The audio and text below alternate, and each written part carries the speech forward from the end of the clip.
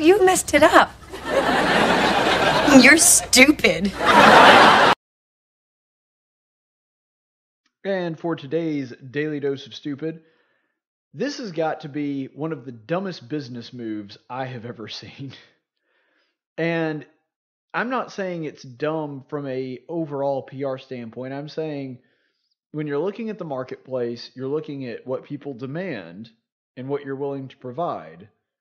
This is a really, really bad business decision. So, for those of you who don't know, and this is a story right out of Alabama, Ford has put a kibosh on one of the coolest promotional deals I have ever heard of.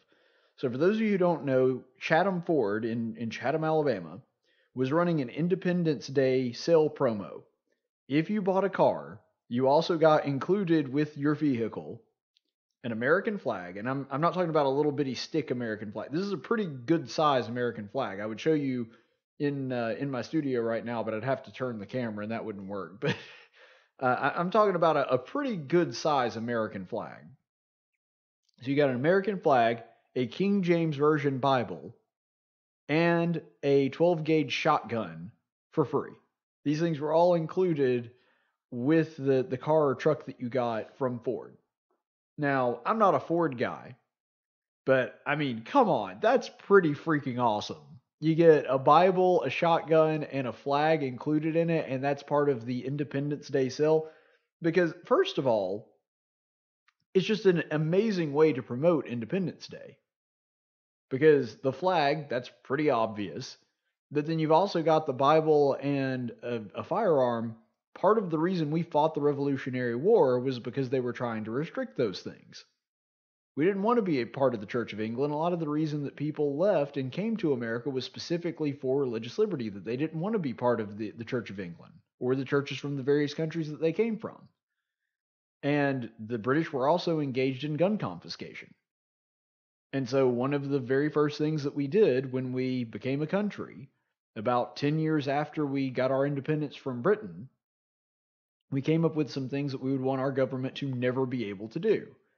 And what was at the top of the list? Freedom of religion and the right to keep and bear arms.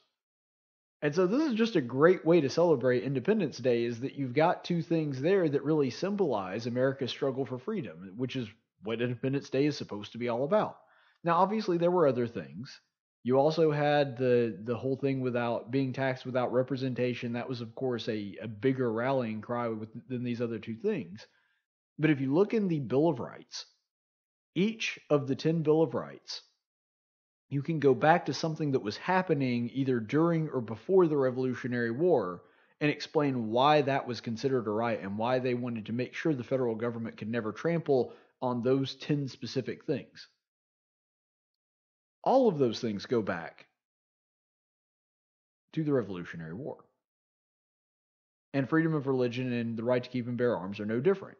And so, I mean, it's just a great promotion, whether you're looking at it historically. And, and another thing, too, there's just nothing more American than that.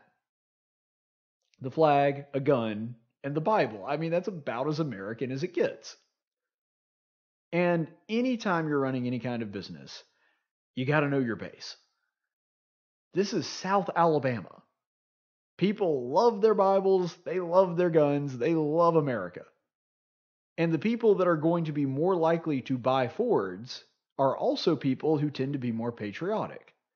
Now, that doesn't mean that people who buy foreign cars are unpatriotic, nor does it mean that people that buy American car brands because they like them are necessarily patriotic people but there is a much higher percentage of people that are buying Fords or Chevys or Dodges, or now Rams, since they're a separate company now. There's a higher percentage of people like that that do care about patriotism, do care about buying American, that are going to be at least more likely to be drawn to things like that. And so the people that are running this promotion, they know their audience. This is not too far outside of Mobile they know their audience. They know that this is something that their community likes and that they're going to be able to move. They're trying to make more out of this than it really should be.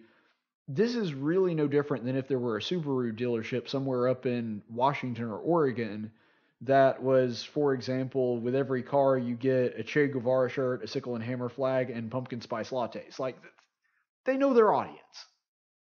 And if they were doing that, as dumb as that would be, it would probably move some cars.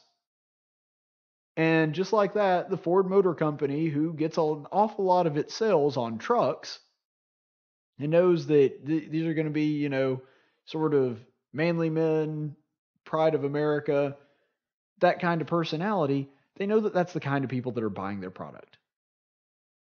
I mean, in the same way, you would put a whole bunch of American paraphernalia up around a barbecue joint. You wouldn't do that at a Chinese place. It would be super weird to walk into a Chinese restaurant and the first thing you see is a giant Statue of Liberty and American flags everywhere. It would just be strange. You don't see that when you walk into a Chinese place. Why? Because it doesn't fit the motif. If you're going to a Chinese restaurant, it's because you're somebody that likes Chinese food and you're expecting a certain atmosphere. The reason that places like barbecue joints or Americana kind of restaurants, the reason that those places have a certain, I don't know, je ne sais quoi, a certain atmosphere around their business is because they know who they're selling to.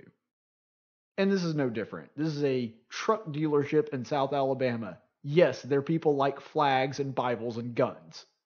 That's common sense. And so uh, people got upset about this. They're making way more out of this than they should. What's really dumb is that Ford put a kibosh on the whole thing. They stopped it.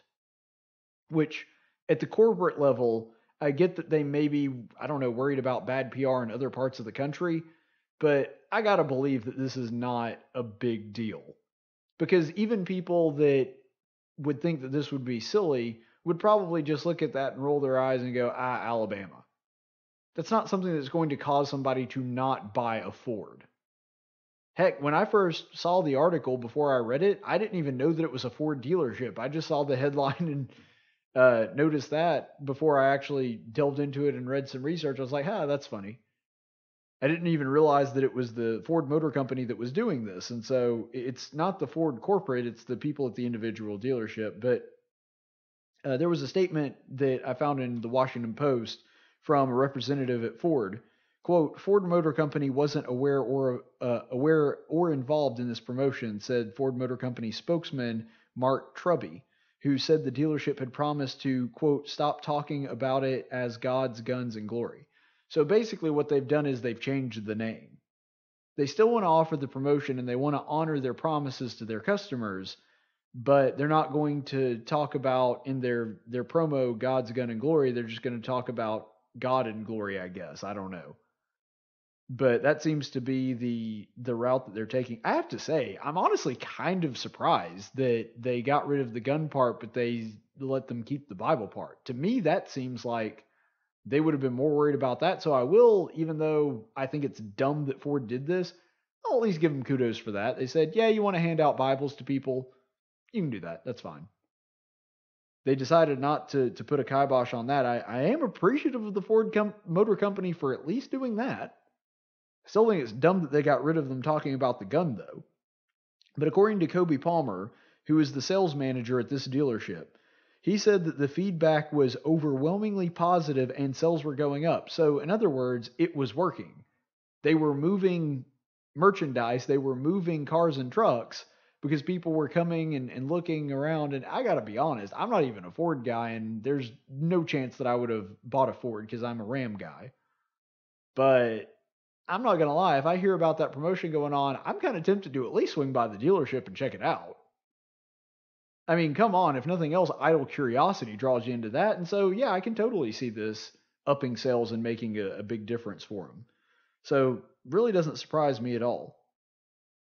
But another thing to, to note about this, too, is that the people that freaked out about it, they were talking about it as though they were just giving random people shotguns. That they're walking up buying a truck, here you go, there's a shotgun, and then the guy just drives off.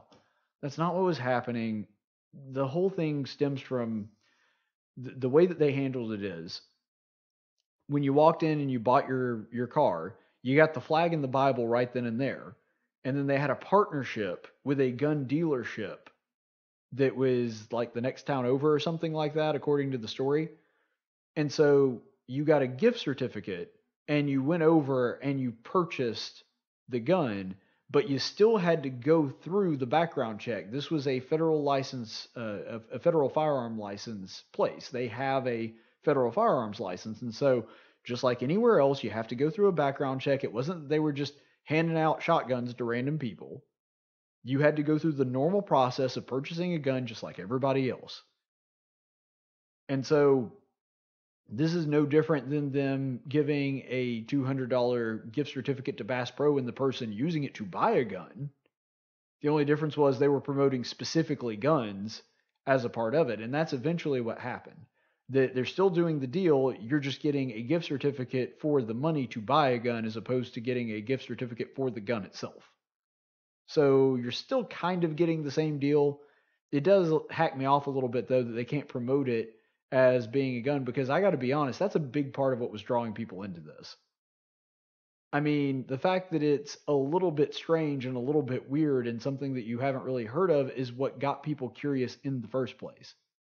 Now, the Bibles may still accomplish that to a degree, but the shotgun, I mean, come on, that was that was really something that sticks out. Hey, you want to get a free shotgun with your purchase of a truck? Come on, now nobody's going to be, you know, buying a $30,000 F-150 just so they can get a $200 shotgun. But it's still a cool promo. And I really do hate that Ford decided to uh, spoil everybody's fun about this, but I think that this is just another case. And the reason I think it's so stupid is they stopped a practice at a local dealership that was working and making sales just because they were worried about how some people in other parts of the country might react. It was much ado about nothing, and I think that's pretty clear.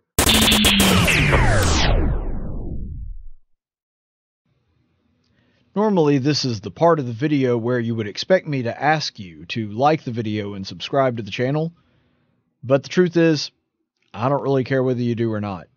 In fact, you know what? Don't subscribe. It's not like there's a lot of really important stuff going on in the world in the state of Alabama that you should probably be aware of. So, yeah, go ahead and subscribe. Or don't. I don't really care. Reverse psychology. Boom.